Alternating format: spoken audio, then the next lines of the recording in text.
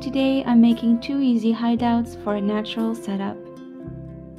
First, I drew a circle on a thick piece of cardboard and I cut it out.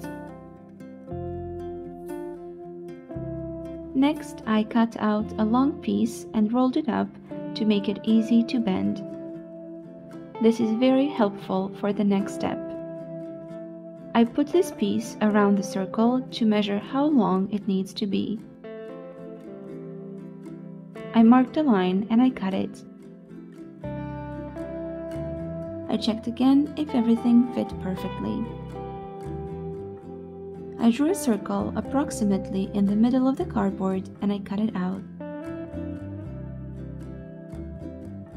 I generously applied glue to the edges of the circle. I wrapped the long piece along the edges of the circle and I flipped the whole thing over to check if everything was where it should be.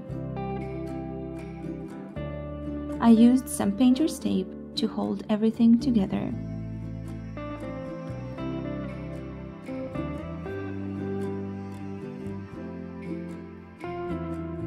I took some soft hay and started cutting it. It's very important to cut the hay into very small pieces. I put a lot of glue on the sides of the hide and I used a brush to spread it all around. I started to slowly sprinkle hay on top of the glue.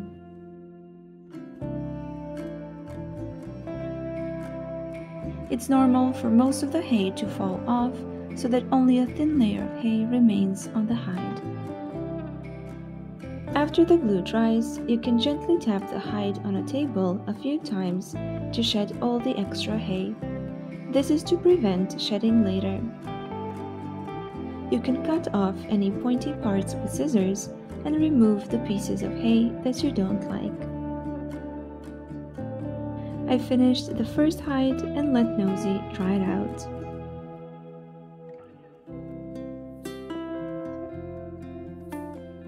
If you don't feel like doing a lot of work, you can use a cardboard box and do the same thing, or you can use a jar. It doesn't even need to be hay, you can also use bedding, like spruce. The second hide is also easy to make, but it takes a bit more time. I took a large piece of cardboard and started drawing the base of the house. I drew four squares 10 centimeters tall and wide. I drew a 4 cm tall triangle on two of the squares. I drew a flap on one side. I cut along the outer lines with a box cutter to cut out the base of the house.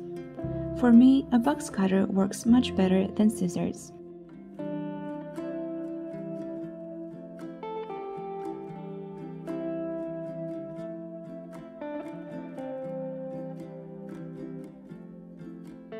Next, I made a shallow cut along the lines where the house needs to bend. Be careful not to cut all the way through. I checked if everything fit perfectly before I started gluing. At this stage, I actually made a mistake. I put glue on the wrong side of the flap. Glue should be on the other side, not the inner. It was a bit irritating, but I wiped the glue off and put it on the correct side.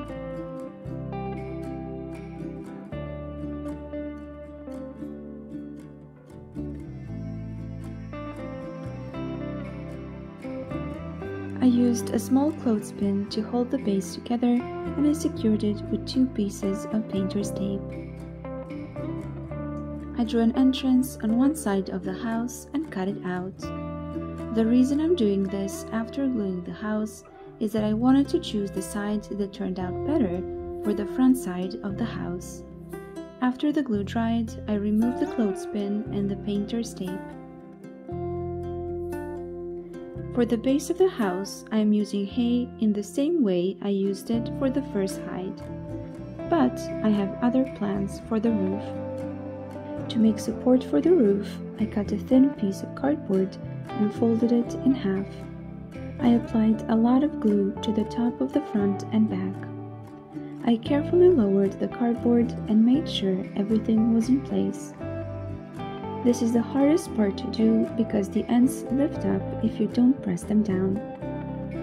I held it with my hands for a minute or two and then I put a small photo album on top to hold it in place.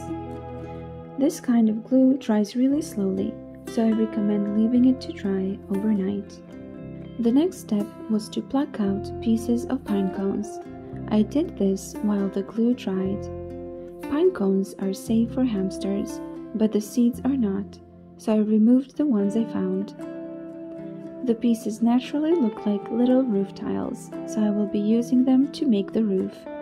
This part of the DIY lasts the longest.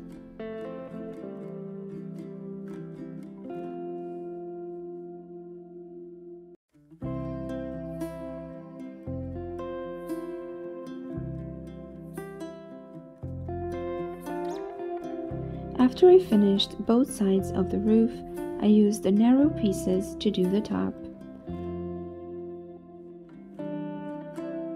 If there are any gaps in the tiles, you can use sphagnum moss to fill them up. This will prevent your hamster's foot from getting stuck in the gaps. The roof was starting to look like what I'd imagined, so I was pretty pleased.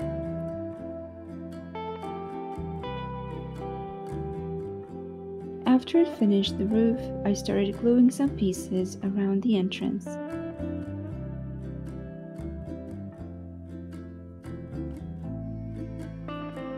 Because I don't know when to stop, I put a small decoration above the door too.